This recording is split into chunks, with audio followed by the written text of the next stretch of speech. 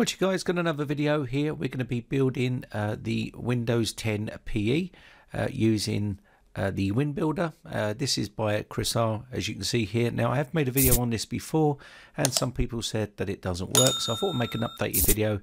You can see here this is where you need to get the package from. I'll leave the link in the video description and you will need the right version of Windows 10 and I'll show you how to get that also.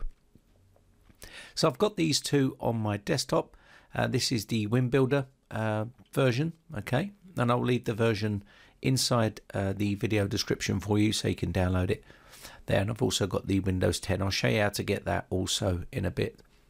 So let's first go into our C root directory of our C drive.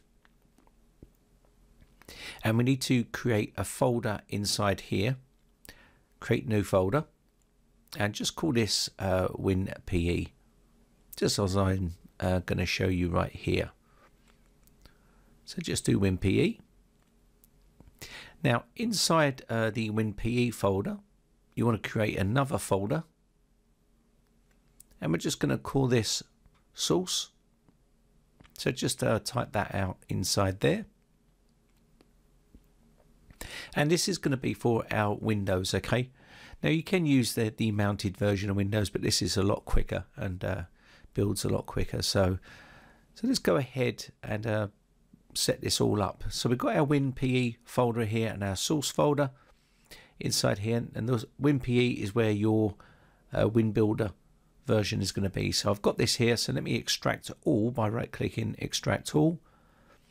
And now we can navigate to the WinPE folder in our C root directory. Let's go there, this PC, C drive, and inside here, and then select folder. And you can see it's now selected it here. So now we can click on extract and that will take a bit of time and just uh, let that extract okay?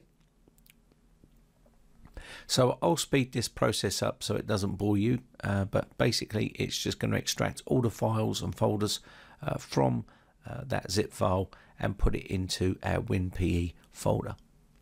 There we go so what we need to do now is get a version of Windows 10 and uh, you can see here you have to use the right version here. So you've got a source folder and this is empty. So we're going to put our version of Windows 10 inside there. So you can go over to this website here and download uh, the executable file and open this up here. And this will allow you to get all the versions of Windows 10 uh, that you want okay? So we're just going to open this up let that populate there we go and uh, what we want to do here is select the radio button up here saying Windows 10. And this will give us the list of Windows 10 that we can download. Now it's important that you use the right version of Windows 10 with this uh, version of WinBuilder, otherwise it won't work. So we're going to go for the Windows 10 Fall Creators Update, uh, the September version. We're going to go for Windows 10 Home and Pro. Now there is another version here as you can see which is the March version but we're going to get the latest version here. Now you may run into problems if you use certain versions with certain versions of Windows 10 so just use the ones I'm showing you here and you should be okay. Now we need to do here is choose our language and uh, this will be English for us and then click on confirm and it will validate your request and take you to the page where you can now download the version you want 32-bit or 64-bit I'm going for the Windows 10 1709 64-bit version. So just download that from here. Let me go to the desktop. I'm going to save that on there okay? That's how you get the correct version of Windows 10 uh, for your uh, build okay? There we go so here we have that here and we can mount this now by right clicking and click mount. This will mount this and now we can see all the files inside so I'm going to right click and copy this and put it into our source folder inside our C drive, WinPE and then source. Inside here paste all those files inside here like that. It's pretty straightforward stuff. And the reason why we're doing it this way is because it will be a lot quicker uh, than reading from the mounted drive. So it's a lot easier this way. So we'll just quickly copy all these files inside here. Now if you've never used a WinPE before they're awesome for fixing computer issues. Uh, this is the base model. So if you want to add in your own portable apps you can do. And if you want to see that video let me know in the comments section below and I'll do my best to make those videos for you and uh, if you want to see anything else about this software or any other uh, things let me know in the comment section so we're going to run the build SE and uh, say yes to the user account control here and here we have the actual program now we're not going to go too much into this. What we're going to do here is just set a basic uh, WinPE with this software here. So you can see here, it gives you some simple steps here. Um, it says to find the Windows 10 uh, folder with all the files is recommended. So we're going to go to the source tab up the top, source directory, and just click on that folder icon there and just navigate to the place where you put all your Windows 10 files, which was in our C drive inside WinPE and then in source. So just click on OK and now we are in the correct place there. So everything is should should be good to go here. Now again this is just a basic uh, setup. If you want to do other things we can cover this in another video. I've done loads of videos on this sort of stuff but if you want to see more updated stuff then let me know.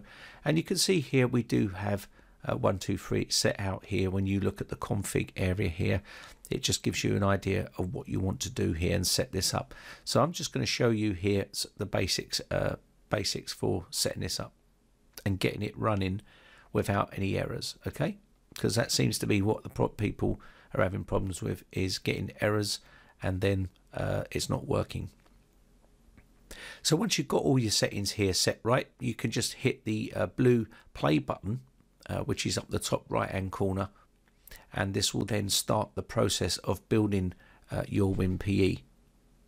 You've got your main configuration here and loads of other bits. I'm not going to go through all of this in this video so I'm just going to go ahead now once I get this set up and hit the play button and this will then go ahead and start to build our Windows 10 PE.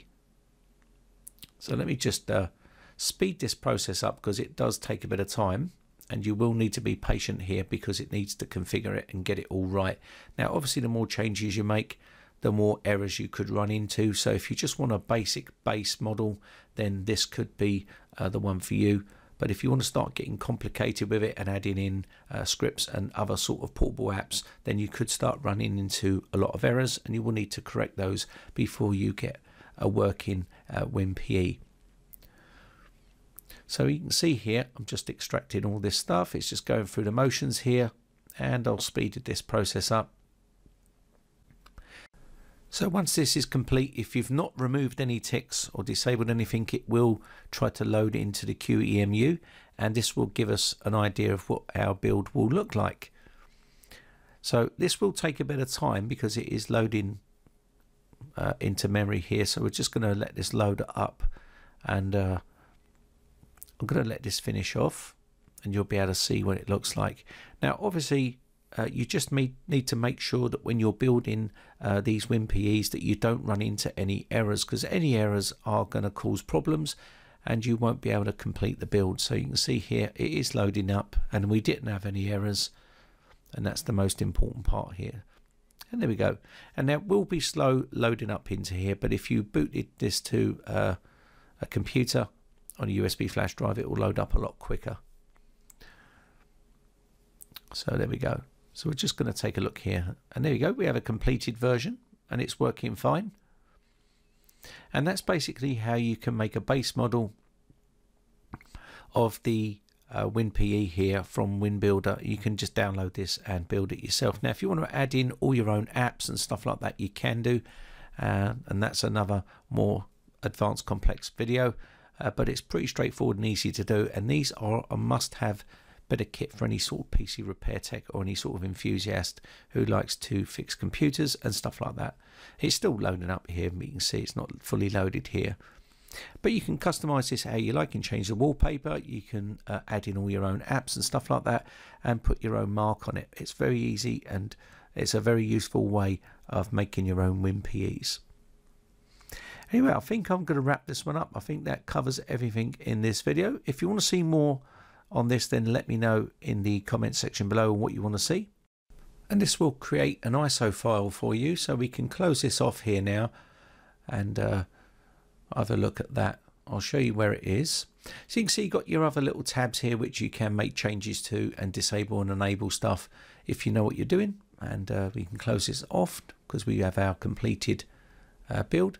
I'll quickly show you where that is. So let me go back to our C root directory and go into our WinPE. You can see ISO, you can see the ISO it has created right here.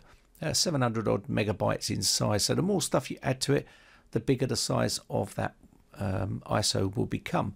Now it's still not too late to enter my giveaway. You've got one more day left and uh, I'll leave the link in a video description. I will announce that on uh, Twitter and also on my Facebook, the winners. If you want to contact me, then I will uh, do my best to send those keys out to you.